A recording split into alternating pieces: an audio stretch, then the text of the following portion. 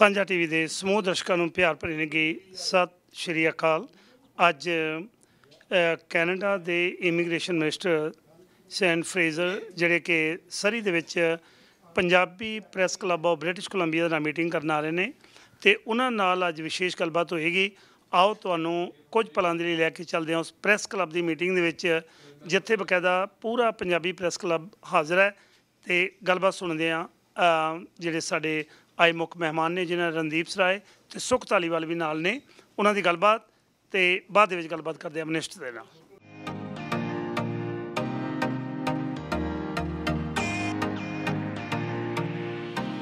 On behalf of Punjabi Press Club of BC, I would like to say thank you to Mr. Sean Fraser and uh, Mr. Randeep Srai and Sukh Taliwal. Thank you for your time. And I would like to um, request Mr. Taliwal to say a few words and then we can start the, and introduce yeah, them. Excellent. Thank you, and uh, good afternoon, everyone, and Sasikal.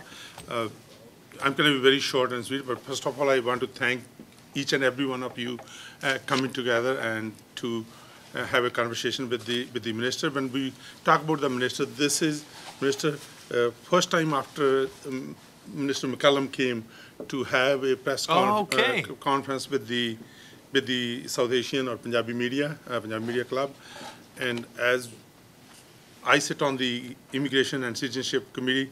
Uh, Minister is very accessible. When it comes, we ask Minister to appear on the committee. Usually ministers run away, but, uh, you know, Minister Fraser is, is the one that is always willing to come up and, and, and, and, and come up with the, the ideas that he want to listen to the members. On the other hand, if we look at over the last little while, Liberal government has done well when it comes to immigration. Last year, we brought in 405,000 immigrants, and the minister has brought in a very comprehensive uh, plan to help the economy grow. And uh, I, without any further ado, minister, floor is yours, and Uh, uh, welcome to Surrey. The best part, Uh, of course, Surrey Center, is there, but Surrey Newton is always where things Surrey happen. is all great. Yeah, that's right, that's right. Yeah, Um, Newton and, yeah. Look, it, it is. Uh, it's really great to be back on the west coast. Uh, I'm from uh, Nova Scotia. I spent some time in Western Canada, but I, I haven't been uh, uh, able to travel much the last couple of years, and it's just really nice to get to see people uh, in person. And, and I want to say um, uh, thank you to the Punjabi Press Club uh, for the invitation, and Sukh uh, and Randeep uh, for, for arranging. This is. Um, uh, a tremendous opportunity. Um, just before I get too deep, uh, let me say thank you uh, for the work that you do. Um, one of the things that I've noticed since I've, I've been appointed uh, to be Canada's Minister of uh, Immigration is that a lot of the newcomers I meet um, derive immense value uh, from the programming that you offer.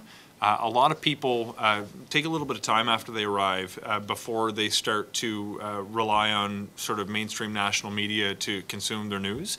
And the connection that I have uh, to share news about immigration policy or the work of the federal government for a lot of newcomer uh, communities is from uh, local ethnic media outlets. And I just, um, I, being somebody who grew up uh, my whole life in Nova Scotia, uh, it's not something that I tuned into uh, my entire life. Uh, but now, uh, so many of the people that I deal with just say how grateful they are for the work that you do to keep them apprised of what's going on, sometimes in their country of origin, uh, but sometimes important news uh, that happens in Canada. And I just want to pass on, on behalf of so many people that I've met since this um, uh, appointment last fall, uh, how grateful they are. And uh, I, I as well am, am very grateful for the work that, that all of you do. Um, I'm also really grateful for these two guys. Uh, you guys have a couple of rock stars uh, sitting beside me right now. Um, there's some things that they've done that have uh, gained a bit of attention. I, I know your uh, motion with uh, Sikh Heritage Month, and, and here we are uh, now. Uh, and, and Randeep with his private, private members motion to create a permanent pathway for people who have a temporary status in Canada. Um, these are people who actually do the work and, and have, have the paper trail to prove it. Uh, but a lot of the work that I don't think you, you see on a day-to-day basis uh, is people going to bat for their constituents and people advocating for policy changes that are going to have a meaningful impact, whether it's on the parents and grandparents stream, uh, whether it's on other family reunification models, whether it's on the advocacy to just grow our immigration ambition more generally. Uh, I really, really have a couple of very strong allies uh, with our, our, South Asian caucus members, uh, but but Sukh and, and Randeep in particular have been absolute champions for the since the very moment that I met them because we all sort of uh, uh, joined around the same time and got in, involved in politics together, and it's been really, really a, a privilege to to learn from them about the importance of immigration when we were trying to get it off the ground in Atlantic, Canada, uh, and now to have their expertise to inform my work in this role is, is something I'm very happy for. Um, so look, I, I, have a couple of, uh, of, thoughts that I want to leave with you guys. Um, the, the, first is that uh, immigration is a major, major pillar of our economic growth strategy. Um, I can't express to you how important it is, not just generally, but at this very particular moment in time. Uh, when I look at the challenges facing the economy, we're in uh, completely new territory as we seek to bounce back from this pandemic recession.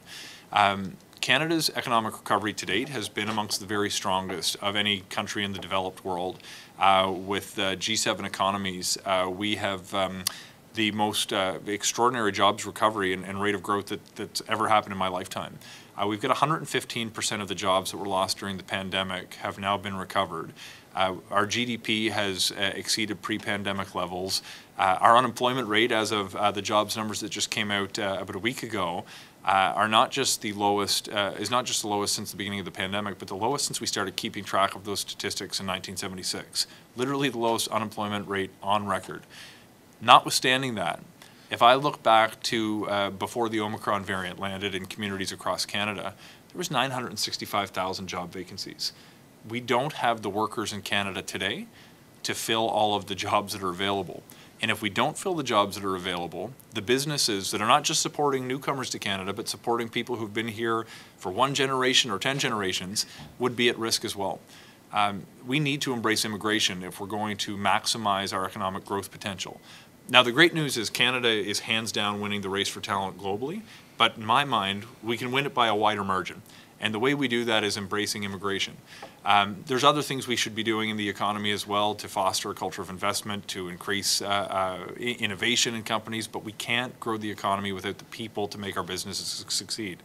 Um, but it's not just an economic uh, issue that we need to be paying attention to when it comes to immigration. We are on the, um, we're, we're, staring down the barrel of a, a really uh, frightening gun here, folks. The demographic trend that we've been witnessing over the course of the last half century in Canada is something that should concern all of us. Uh, I think back to, um, well, I don't think back, this is before my time. I look at the numbers back in the, uh, the 1970s. We had seven workers for every retiree in Canada. Today there's about three. By the time I'm ready to retire, on our current trajectory, there's going to be two. That's really frightening. Uh, it's not just the fact that we won't have the people to support the, uh, the, the services that we depend on our needs are going to be greater because the population that we have now is aging. If we don't add more people, more workers, more families to the economy, we're going to be in real trouble when it comes to financing healthcare, when it comes to building the infrastructure that we need, when it comes to paying for the cost of education for our kids. These are things that everybody cares about. And one of the solutions that we're going to have to embrace if we want to continue to experience the kind of public services that we've come to depend upon is to bring more people into our communities. Now, I feel very fortunate if I can steal a, uh, a line that uh, Minister McCallum used to use. The Minister of Immigration in Canada has a really unique problem, and that my biggest challenge is that I can't get people here quickly enough. When I talk to some of my counterparts around the world who deal with some really negative attitudes towards people who come from different countries, um, that's not something that I really have to worry about too much here. If somebody pitches uh, one of those uh, xenophobic comments towards me in a crowd, I don't have to say a word because the crowd goes after that person. And it's really, really a wonderful thing about Canada. I think part of it stems from the fact that, with the exception of Indigenous communities, uh, every community in Canada came from somewhere else. My ancestors came here about 250 years ago after the Highland clearances in Scotland. Uh, they were persecuted and they didn't have a place to stay. Uh, they washed uh, up on the shores of rural Nova Scotia, and uh, the Frasers that landed there are my direct ancestors. Um, I look uh, over the course of our, our nation's history when it comes to our humanitarian tradition of wel- welcoming Vietnamese boat people, of more recently Syrian refugees, Afghan refugees, and now Ukrainians who are coming on a temporary basis. I think this is a good thing for our communities. But one of the things that's been really heartwarming for me with all these humanitarian efforts other newcomer populations have been amongst the most generous to welcome people who are fleeing these kind of humanitarian crises. And I think it's something we should all be very proud of. I, I do want to address uh, one of the challenges that I'm facing right now. It's not lost on me that there's some uh, really, really difficult times when it comes to people who are uh, trying to come into Canada. Um, Sukh mentioned that we set a record last year for the most number of permanent residents that were ever settled. And when you look at the numbers across the system, our immigration system punches way above its weight for our country our size. But the experience of people who go, that, go through that system is immensely frustrating. Uh, one of the things that I've come into when I've been watching the, uh, the impact of COVID 19 on our system is it's really battered uh, the world of immigration in Canada. In fact, it's happened globally, but perhaps uh, to a greater degree in Canada because our ambition is so high. Uh, there's two main ways that uh, the pandemic has really uh, ca- caused uh, frustrations in our immigration system. Uh, one, we've had local public health situations in different parts of the world shut down offices. And we don't necessarily have the same capacity to have everybody work from home on a laptop in other places around the world like we did uh, in Ottawa. Uh, the other piece that's really challenging is we made a decision, it was the right thing to do at the time, to pivot our strategy towards welcoming more people who were already in Canada as temporary residents during the pandemic when our borders were closed, so we could resettle large numbers of people as permanent residents. But we didn't have an intake control on the number of people who were going to continue to apply because we wanted to continue to attract the best and brightest from around the world. But it's created a scenario where we now have a couple years of applicants who are in the queue trying to come into Canada at a time when we uh, are, are still scaling up year over year, but not in a position to overnight just completely double or triple our capacity. Now, the good news is, despite these challenges, I'm starting to see the internal numbers are showing that we're turning a really important corner here. Whether it's on uh, the resources we're putting towards uh, temporary programs, or whether it's the actual people who are being processed under our permanent programs. So we've made a couple of uh, a couple of big investments, and th- there's a few things that uh, we can do to address these things that we're doing right now. But the things that we're seeing right now is that um, in the first uh, few months of uh, th- this calendar year, there's been more than 147,000 uh, cases processed on the permanent residency side. Um, we uh, are, are, in excess of our, our goal uh, right now. We passed uh, before the end of March uh, 108,000 uh, permanent residents who were landed with a landing inventory of about 100,000 more. Uh, and our goal for the entire year is 432,000. So things are actually starting to, to turn a bit of a corner here. There are still challenges, and we're working very hard to change them. And I wanted to give you a snapshot just on some of the very specific things that we've been doing. I think in my mind, there's really three things you can do uh, to chip away at the, uh, the really serious uh, challenges that we're dealing with processing. Uh, the, the, first is resources, the second is technology, the third is creating level spaces. Uh, on the resources side, um, uh, I, am pleased to be working with Minister Freeland on this because she believes immigration drives the economy and is willing to put her money where her mouth is. Uh, we started uh, by hiring more than 500 uh, staff just to process more cases. And that's really the number one thing that's causing this uptick in the rate of processing that we've seen over the last number of months. These people have been on long enough that they're now trained and they're producing at a really high capacity. Uh, but we're not stopping with that first big batch of people that, that we've hired.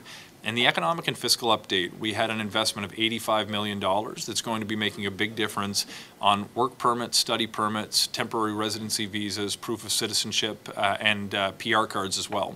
Uh, in addition, uh, in the recent federal budget, we saw another $385 million that's going to allow us to do some really cool things on the temporary residency visas. Uh, in particular, uh, although that uh, we, we, do get funded uh, to some degree each year to make sure we can keep the lights on, um, we've got a permanent funding model uh, as a result of last week's budget that's going to ensure that we can actually hire people that we won't have to replace and retrain every year. This is going to have a long-term impact on our ability to make sure that we're not losing capacity every year when we inevitably don't know what's coming down the pipe the next budget. To have some certainty uh, for, for several years ahead uh, is really going to allow us to have a little more predictability and to boost our product productivity. Uh, on the client service side, there's another $187 million uh, to improve the, uh, the ability for people who are going through the application process to get information, to talk to people. Now, we are dealing with such uh, a high demand right now that it's not going to fix every problem overnight. Money's not the only thing you can do. Uh, uh, is not the only thing that we need. Uh, we got to make other changes too if we're going to make a permanent fix to Canada's immigration system. The second bucket uh, that we need to address is we need to upgrade our technology. Uh, I look right now, uh, it, honestly, my jaw hit the floor when I was appointed to this position, and I realized the extent to which Canada's system of immigration is still paper-based.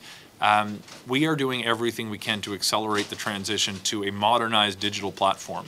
There's a couple features that have already come online. We've got different uh, lines of business where you can actually get, uh, for family reunification, for example, as of February, you can actually go on and check out your case status with a, a permanent residency case tracker. We're going to be rolling that out along all the different lines of business that we have as soon as the tech is ready to go, but we didn't want to delay one uh, just to wait for everything else to come online. We're going to, by this summer, have digital application capacity across 17 different lines of business in, uh, in our immigration process. Um, we're trying to look at every, every single aspect of it, and to the extent we can allow a person to access it on a laptop or their phone or at their office, it's going to not only make it a better user experience, it's going to reduce the capacity on the system. I look right now the calls that we get from uh, MP offices and uh, that came through uh, MP's offices to the minister's office. In the past year, I think there was over 230,000 requests just coming from MPs. 80% of those are for status updates for people who are wondering where their application is. If we can put that information in the applicant's pocket, we're going to be able to reduce up to 80% of the calls that come into our system and free up those resources to process more cases. It's everything's interconnected and if we can continue to look at it in a holistic way and adopt the technological change that will empower people to get information about their cases, to navigate the process on their own, it's going to free up the resources we have to process people faster. The final chapter of things that we're working on right now is our immigration levels plan. I was absolutely thrilled. Uh, a couple of months ago now to table what was the most ambitious immigration plan that was ever tabled in the House of Commons in Canada's history. This year, uh, we're looking at increasing from 405,000 to 432,000 people to be resettled as permanent residents, growing up in the years ahead. Uh, my sense is we're going to continue to need to revise that to go upward and upward and upward uh, because of the need that our economy has for more people to fill jobs and the appetite the communities have to welcome more people. As long as we have the processing capacity and our communities have the absorptive capacity to resettle people successfully, uh, I, am not worried right now. I think immigration is a wonderful thing. Uh, I'll maybe leave you with a, a, little anecdote from my own experience. And I've got a very different need for immigration in rural Nova Scotia uh, than you guys have here in British Columbia. Um, but I've seen it transform my community for the better. Um, I grew up in a place that's uh, notoriously uh, and, and exceedingly friendly. Um, I don't know that we were always as welcoming as we could have been. Um, I look back uh, to the controversies during my first campaign in 2015, and we had a local elementary school closed down, and we lost the mental health unit in our major regional hospital. Um, a big part of why this was the case is we had a lot of young people leaving because there wasn't a lot of economic opportunity at the time in rural Nova Scotia. Um, we made a decision as a region. Uh, the federal government was a part of it, provincial governments in Atlantic Canada were a part of it, and communities were a big part of it, to say immigration is going to help uh, correct this demographic problem with our young people leaving, create more opportunities for folks. Uh, what we've seen since we've embraced immigration is not just that newcomers are coming to our community, uh, but they've opened up new businesses that have created job opportunities for people. They've uh, made uh, our communities more dynamic places to live, offering new services in town. And we're seeing a lot of young families like mine who've moved back to the area to take part in a revival of the communities where we grew up in. And right now, the problems that we, we face are more similar to the ones in bigger cities across Canada. Uh, we're, we're wondering if we can build houses quickly enough for all the people that are coming in. Uh, and I can tell you, as a local member of parliament, it is a much better problem to have to be worried about having to put houses up quickly enough because so many people are coming than losing schools and hospitals because so many people are leaving. Um, I, am thrilled to have this opportunity to make a big difference to help communities, not just like mine, but communities like the one we're in now, uh, to make sure that we do more and more to welcome newcomers into Canada. Uh, it's our honestly held belief as a government that this is a big part of the right path forward, and it's going to set up for success as we seek to recover from the COVID-19 pandemic. Uh, I'll leave my comments there and, and, gladly hand it over to uh, to our moderator for uh, to take uh, questions the crowd may have. Thank you. Thank you. We have same question about Afghanistan. Uh, you said there are three criteria when we are bringing people from Afghanistan. Do we have those criteria, uh, same kind of when we got refugees from Syria or from uh, recently Ukraine or another country? Whenever there is a chaos, uh, that is the main problem. Why um, Sikhs have to sponsor, even it's not yet clear, why they have to sponsor those families when uh, other people are coming here from other country, they are not being sponsored. They are accept, you are accepting, our government is accepting them as refugees. Why not people from Afghanistan directly?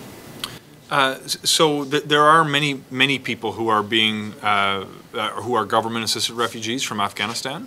Uh, And uh, it's, a- it's a mix in both, in Syria, there was a mix of government-assisted and privately sponsored. In Afghanistan, there's a mix of government-assisted and privately sponsored. One of the reasons you might see uh, a greater degree in Afghanistan of government-assisted refugees, and in fact, there are, there are more uh, in Afghanistan that are government-assisted compared to Syria.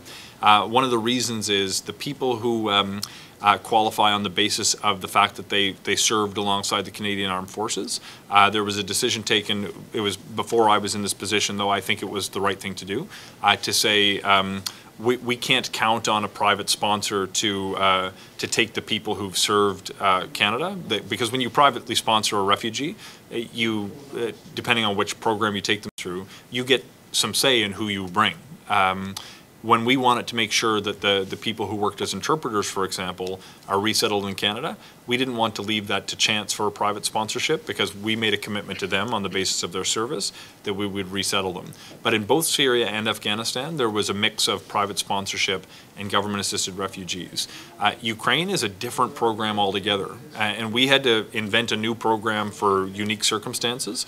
Uh, my first reaction when I learned of the possibility of this massive exodus of people westward from Ukraine uh, was to think about whether we could stand up a refugee resettlement program. But in order to deal with the kind of numbers that we were starting to see, it might have been a, a five-year type uh, program, and, and we didn't have that kind of time. Uh, but we also were dealing with a group of people who don't want to, by and large, move to Canada permanently.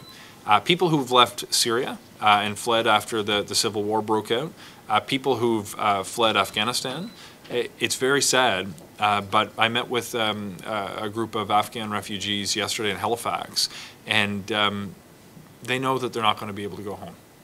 And it, it's heartbreaking. Uh, in Ukraine, they are very hopeful that when this war is over, they're going to be able to go home. In fact, some people are, are returning already, and that's a personal decision they're making. Uh, so it's not a typical refugee program, but the federal government is providing a much smaller amount of support to Ukrainians who are coming than people who are resettled as refugees permanently. Uh, we have a six, and look, it's a really unique and generous program for uh, a new temporary protection model with six weeks of income support.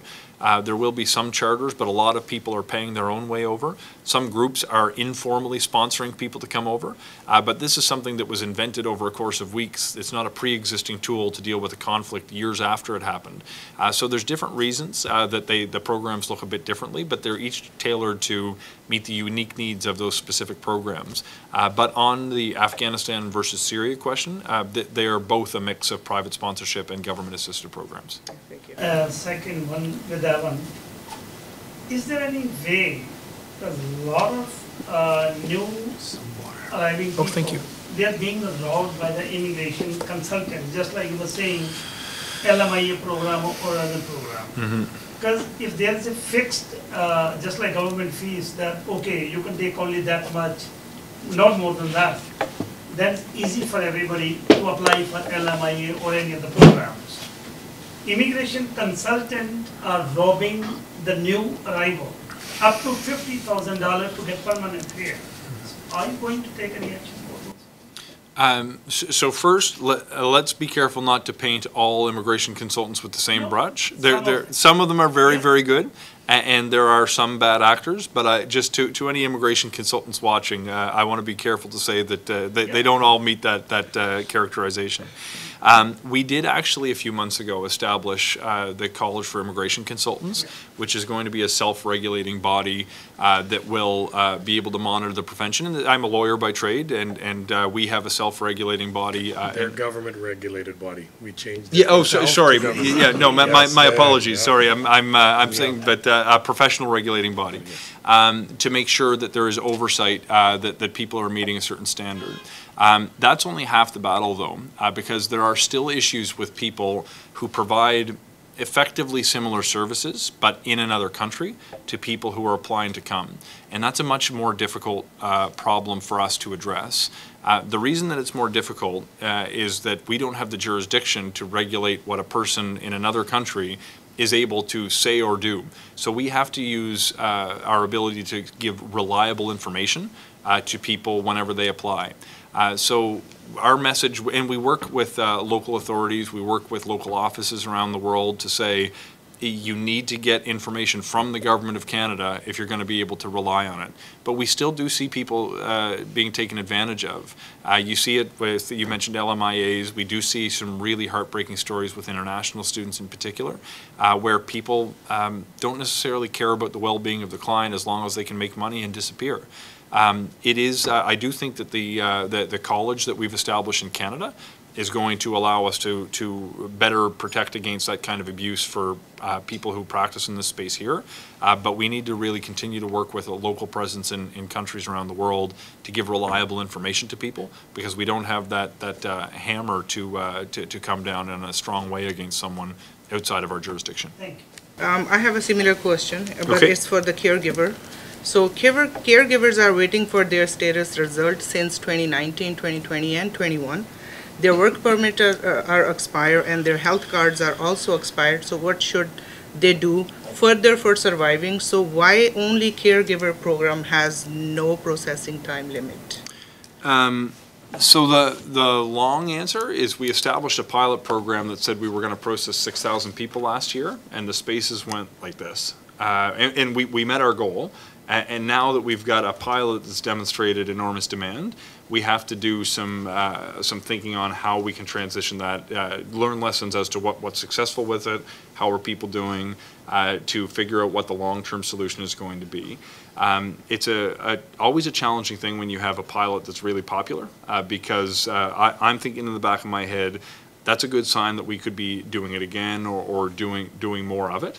Um, on the flip side, uh, one of the challenges that I see is I'm also dealing with um, a, a pie I'm trying to grow every year to the extent that I can get more funding to grow and grow and grow the total number of people.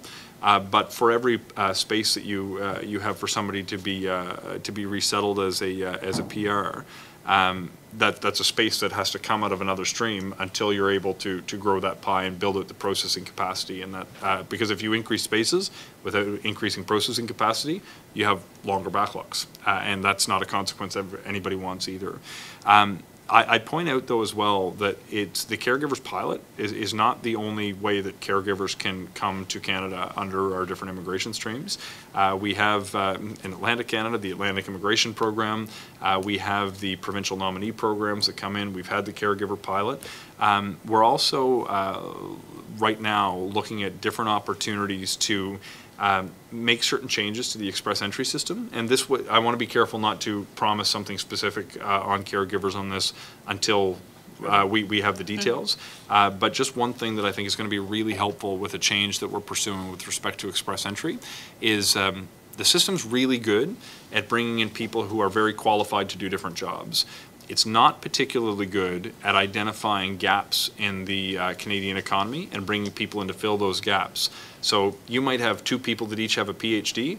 One of them will be in a very in-demand sector. The other will be in a sector where there are, is no demand. They're treated equally under the express entry system. Uh, what I've seen through this pandemic, and it's really changed my own thinking, I, I I get very offended when I hear people use high skilled versus low skilled. Uh, what we've seen over the course of this pandemic, a lot of those low skilled people are essential workers, and our economy would collapse without them. I'm thinking healthcare providers, truckers. Uh, you all know as well as I do uh, some of these groups. Uh, The changes, if we make the express entry system more flexible, will allow me or whoever succeeds me in this position to actually identify what are the key gaps in the Canadian economy that we need to fill. And we would have the ability to say, well, maybe it's going to be caregivers in British Columbia, maybe it's going to be truck drivers in Nova Scotia. Uh, and we would be able to say, okay, let's do a draw on truck drivers from Nova Scotia and caregivers from British Columbia. And if we have that flexibility, we're going to have a much more efficient immigration system uh, because we'll actually be targeting the needs of the communities more effectively. Uh, so that, that's something that we're working on right now. Yeah, because, um, I'm sorry, I have um, a very small question also. Uh, behalf of Hope Seva Society, my society working so hard for last few years, and we already signed one petition, and Mr. Srai know that as well, and Mr. Sukh Dhaliwal. And right now, we signed up another petition, E3955, uh, supporting the Motion 44 bill, the one Mr. Srai uh, working on it. So a lot of people, undocumented people, always we have that issue we discussed with Mr. Srai. Don't you think government should give them an open work permit so they can build their status here? Um, yes, al- although my answer is a little bit more nuanced than that. Um, I think there's things that we need to do to, to make it easier for people who are here, who've been working here, who have families here for a, for a long time, uh, to cre- get, give them some certainty to allow them to take part uh, in the uh, legitimate economy, not the underground economy. Um, we've had some real success with a pilot program we ran with um, uh, construction sector in, in Toronto. Uh, and I think it's really showed us the potential to uh, bring people out of the shadows who are making really positive contributions to their communities, uh, not just in their work, not just in their family life, but volunteering at nonprofits, uh, making a really, really important difference. Um, we don't have a full uh, picture of the, the scale uh, of the number of people who are undocumented and making a contribution in Canada, and, and we've also got other people that we don't want to we don't want to create a draw to bring people here who uh, come in contrary to the rules.